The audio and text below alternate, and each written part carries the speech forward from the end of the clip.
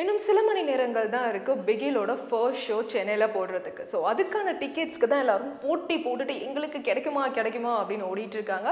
So அவ்வளோ ஆன்டிசிபேட்டடாக இருக்கிற பிகிலோட story line என்ன அப்படிங்கிறது தான் நாங்கள் இப்போ சொல்ல போகிறோம் இது ஒரு சின்ன கெஸ் தான். ஸோ இது ஸ்பாய்லரால் நாங்கள் முன்னாடியே சொல்லிட்டோம். பார்த்ததுக்கப்புறம் கதையை சொல்லிட்டேமா அப்படிலாம் நீங்கள் என்ன கேட்கக்கூடாது. ஓகேவா ஸோ எப்படி ஸ்டோரி ஆரம்பிக்கும் அப்படின்னா வந்து இந்த கேர்ள்ஸ் ஃபுட்பால் டீம் வந்து இருக்காங்க. இவங்களோட ஃபிசிக்கல் ட்ரைனராக வந்து நயன்தாரா இருக்கிறாங்க. ஓகேவா ஸோ நயன்தாரா தான் இவங்களுக்கு ஒரு தரமான கோச் வேணும் அப்படின்னு சொல்லிட்டு நம்ம மைக்கேல் விஜயை வந்து கூட்டிகிட்டு வரணும் அப்படின்னு சொல்லி பிளான் பண்ணுறாங்க மைக்கேல் விஜய் என்ன பண்ணிட்டு இருக்காரு அப்படின்னா லோக்கல் டோனாக வந்து பயங்கரமாக ரவுடிசம் பண்ணிட்டு அப்படியே ஒரு கம்ப்ளீட் ஏரியாவே வந்து கண்ட்ரோலில் வச்சுட்டு இருக்காரு.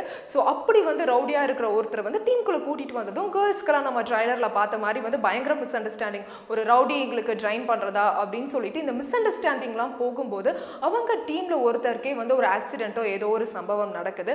அதுக்கு அப்புறமா இந்த விஷயங்களுக்கு அப்புறமா தான் வந்து ஃப்ளாஷ்பேக் வந்து ஓப்பன் பண்ணுறாங்க யார் இந்த மைக்கேல் அப்படின்னு சொல்லிட்டு.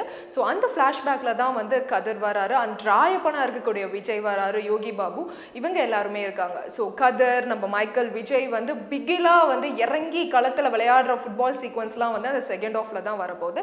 ஸோ கதர் இவங்க எல்லாருமே வந்து ஒரு டீமாக இருக்காங்க. கப்பெல்லாம் ஜெயிக்கிறாங்க. இப்படி போயிட்டு இருக்கும்போது ரவுடிசமில் இருக்கிற ராயப்பன் விஜயும் கதரும் வந்து கொல்லப்படுறாங்க.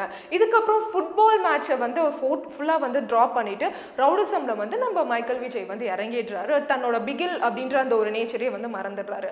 அதுக்கப்புறமா வந்து இந்த கேர்ள்ஸ் வந்ததுக்கு அப்புறமா இந்த கேர்ள்ஸ் டீம் இருக்காங்க இல்லையா? ஸோ அவரோட குறிக்கோளை தன்னோட குறிக்கோளாக ஏற்றுட்டு நம்ம கோச்சுக்காக வந்து சும்மா மிரட்ட வைக்கிறோம் அப்படின்னு சொல்லிட்டு உள்ளே இறங்குறாங்க.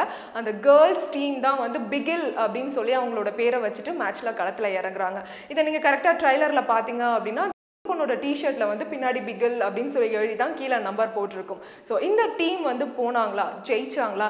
என்ன மாதிரியான ஒரு செலிப்ரேஷன் இருந்தது அப்படிங்கிறது ஒரு விறுவிறுப்பான ஸ்க்ரீன் பிளேயர் சொல்லக்கூடிய படம் தான் பிகில். இதெல்லாம் வந்து ப்ரமோ கட்ஸ் டீசர் ட்ரைலர் இதெல்லாம் பார்த்து நாங்கள் கெஸ் பண்ண ஸ்டோரி லைன் இதே மாதிரி நீங்கள் ஒரு கதை யோசிச்சு வச்சிருப்பீங்க. அது கூட வந்து ஒரிஜினல் கதையோட மேட்ச் ஆகலாம். பட் அதெல்லாம் படம் ரிலீஸ் ஆனால் தான் தெரியும். பட் அதை பற்றி நீங்கள் தாராளமாக கமெண்ட் பண்ணலாம். தப்பு இல்லை. ஓகே அண்ட் இந்த வீடியோ உங்களுக்கு பிடிச்சிருந்தது அப்படின்னா மறக்காமல் லைக் பண்ணுங்கள் ஷேர் பண்ணுங்கள் அண்ட் நீங்கள் சப்ஸ்கிரைப் பண்ணுங்கள்